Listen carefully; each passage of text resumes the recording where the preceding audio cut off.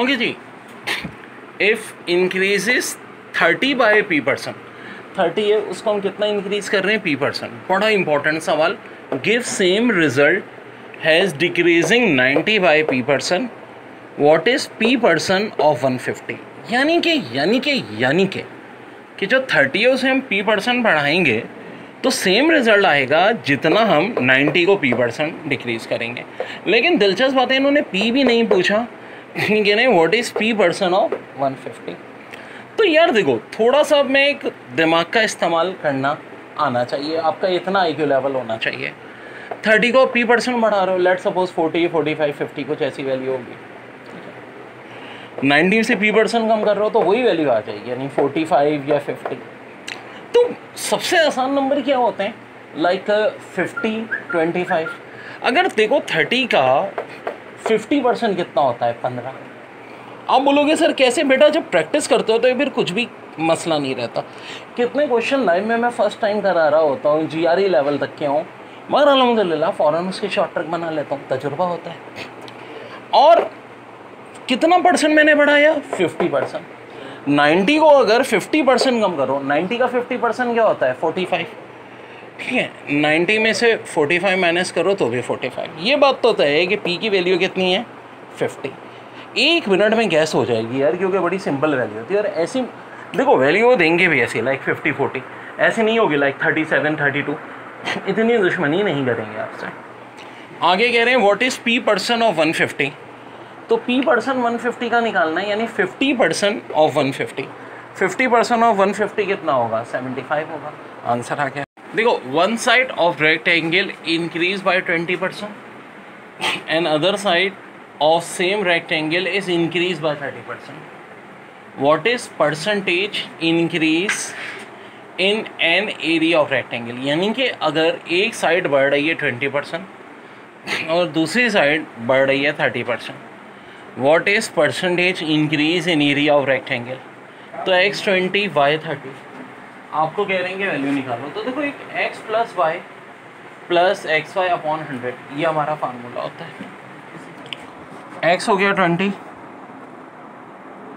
Y हो गया thirty twenty into thirty upon hundred twenty और थर्टी को प्लस किया फिफ्टी यहाँ दो ज़ीरो ज़ीरो कटे सिक्स आंसर हो जाएगा फिफ्टी सिक्स परसेंट एंड बच्चों this is very very important question बहुत पेपर में इस तरह के कॉन्सेप्ट पे सवाल। देखिए if one side of rectangle increase by twenty percent and other side of same rectangle is decreased by 30 percent, what is percentage increase in area of rectangle? Well देखो, इस पैटर्न पे बहुत सवाल आते हैं। कभी दोनों इंक्रीज कभी दोनों डिक्रीज कभी एक इंक्रीज दूसरी डिक्रीज बस एक बात रखो इंक्रीज वाले के साथ प्लस डिक्रीज वाले के साथ माइनस ट्वेंटी परसेंट इंक्रीज है तो एक को एक्स को या वाई में से एक को भाई प्लस ट्वेंटी मान लें, एक को माइनस थर्टी या फार्मूले में पुट किया।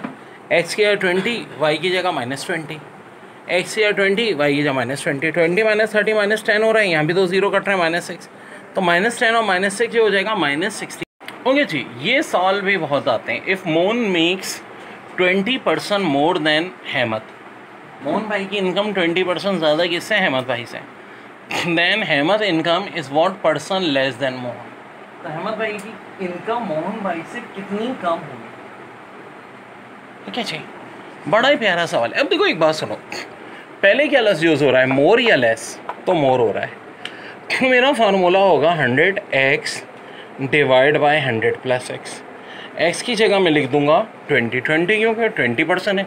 फोर्टी लिखा होता फोर्टी लिख देता। नीचे होता है हंड्रेड प्लस एक्स, अगर पहले मोर है तो। तो hundred plus twenty, one twenty. कटेगा? जी हाँ बिल्कुल कटेगा। Hundred upon six, sixteen point six six होता है। देखो, ये जो रिज़ल्ट है, हंड्रेड अपॉन सिक्स, ये इतना इंपॉर्टेंट रिज़ल्ट है कि आपको याद होना चाहिए, सिक्सटीन पॉइंट सिक्स सिक्स, या इसको sixteen whole two upon three percent भी लिख सकते हैं। लेकिन लेकिन लेकिन, देखो, अगला साल बिल्कुल चेंज है। If cost of C D is forty percent less than that of D V T then cost of D V T is what percent greater than cost of C V T तो देखो, पहले क्या लफ्ज़ use हो रहा है? Less ऊपर वाले साल में पहले प्लस क्या यूज़ हो रहा था? मोर तो यहाँ प्लस आया था। अभी भी देखो, सब कुछ वही है। लेकिन अब प्लस की जगह माइनस सी है। बिल्कुल। रीज़न पहले लफ्ज़ लेस यूज़ हो रहा है। इस टाइप के सवाल देखो, बड़े आसानी से हो जाते हैं। हंड्रेड माइनस फोर्टी सिक्सटी काटम काटी होगी जी हाँ ये ज़ीरो कटा। ये कटा। जी हाँ two hundred upon three sixty six point six six okay भाई, बहुत बहुत है बात। परसेंटेज बिल्कुल स्टार्ट से। देखिए, एक तो इस तरह के सवाल आते हैं कि जैसे कि कोई चीज़ फ्रैक्शन में दी होती है और कहा जाता है परसेंटेज में निकालो। डेयर याद रखो फ्रैक्शन को जब भी परसेंटेज में कन्वर्ट करना है तो हंड्रेड से मल्टीप्लाई करेंगे।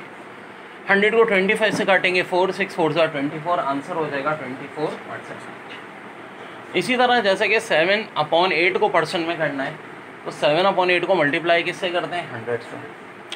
तो वेल्ड air hundred upon eight twelve point five होता है सेवन से मल्टीप्लाई करते हैं एटी सेवन पॉइंट फाइव हो जाएगा. और कभी उल्टा भी होगा जैसे कि परसेंटेज दी हुई है थर्टी टू परसेंट को कन्वर्ट करना है फ्रैक्शन में तो हंड्रेड से डिवाइड करेंगे यानी कि फ्रैक्शन से परसेंटेज में करना है तो हंड्रेड से मल्टीप्लाई और परसेंटेज फ्रैक्शन में करना है तो हंड्रेड से डिवाइड थर्टी टू को हंड्रेड से डिवाइड करो, देखो फोर के टेबल से थर्टी टू भी करता है हंड्रेड भी तो हो जाएगा एट अपॉन ट्वेंटी